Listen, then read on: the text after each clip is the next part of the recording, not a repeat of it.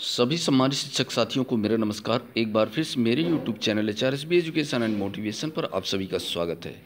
साथियों, बेस शिक्षा विभाग की सबसे बड़ी अपडेट्स है, जो बेस शिक्षा विभाग सबसे बड़ी तैयारी में जुटा हुआ है।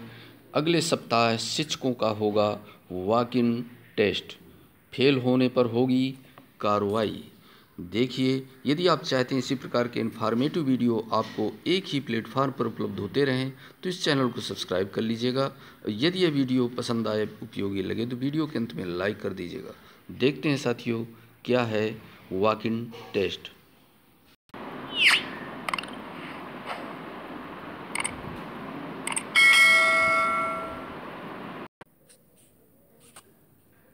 बेस शिक्षा विभाग की बड़ी तैयारी। अगले सप्ताह शिक्षकों का वॉक इन टेस्ट फेल होने पर कार्रवाई। बेस शिक्षा विभाग में सुधार के लिए सीडीओ खुद निगरानी कर रहे हैं। बुधवार को उन्होंने शिक्षा अधिकारियों के साथ में खंड शिक्षा अधिकारियों की भी बैठक बुलाई। इसमें प्रशिक्षण लेने वाले शिक्षकों के वॉक इन टेस्ट पर चर्चा हुई। वहीं परिषद के स्कूलों में पढ़ने वाले सभी बच्चों के अभिभावकों के फ़ोन नंबर एवं व्हाट्सएप नंबर का डाटा भी जल्द तैयार करने के आदेश दिए।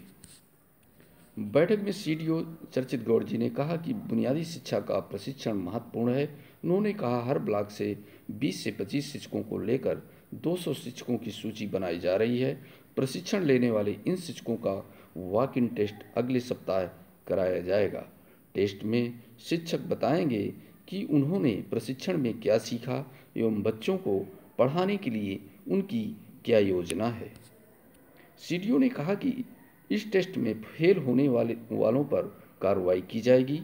बैठक में उन्होंने खंड शिक्षा अधिकारियों से कहा कि स्कूल में पढ़ने वाले बच्चों के मोबाइल नंबर सहित पूरा डाटा तैयार रखें। सभी के व्हाट्सएप नंबर भी होने चाहिए। अभी तक वह यह डाटा तैयार न होने पर नाराज़गी जताते हुए कहा कि सात दिन में डाटा तैयार कर सौंपे। बैठक में जिला विद्यालय निरीक्षक Bal Mukund Prasad B S A Anjali ji उपस्थित रहे। अग्रवाल सहित खंड शिक्षा अधिकारी मौजूद रहे। सभी शिक्षकों की परीक्षा की भी तैयारी। वॉक इन टेस्ट को सिर्फ़ 200 शिक्षकों का होगा, लेकिन सभी प्रशिक्षण लेने वाले शिक्षकों की परीक्षा की भी तैयारी की जा रही है। इसके लिए प्रश्न पत्र भी तैयार हो रहा है। यह परीक्षा मार्च में ही कराने की तैयारी प्रशासन कर रहा है। साथियों सतर्क हो जाएँ, सावधान हो जाएँ और बुनियादी शिक्षा के प्रशिक्षण को एक बार रिवीजन कर लें दोहरा लें ताकि हो सकता है आपके जनपद में भी ये टेस्ट लिया जाए और वॉक इन टेस्ट में सफल होना अनिवार्य है।